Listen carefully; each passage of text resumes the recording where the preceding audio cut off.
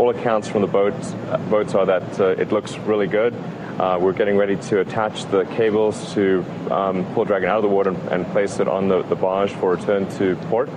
And um, everything's looking really good. This has been uh, a, fantastic day.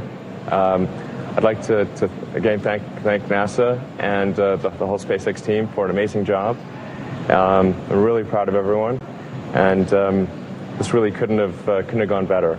Well, I, I think it, it, it really um, shows that uh, that, that, that, commercial spaceflight can be successful. Um, I mean, this, this mission worked for the you know, first time right out of the gate. All phases of the mission were successful, um, and it was done uh, obviously in, in, in, close partnership with, with NASA, but on, in a different way.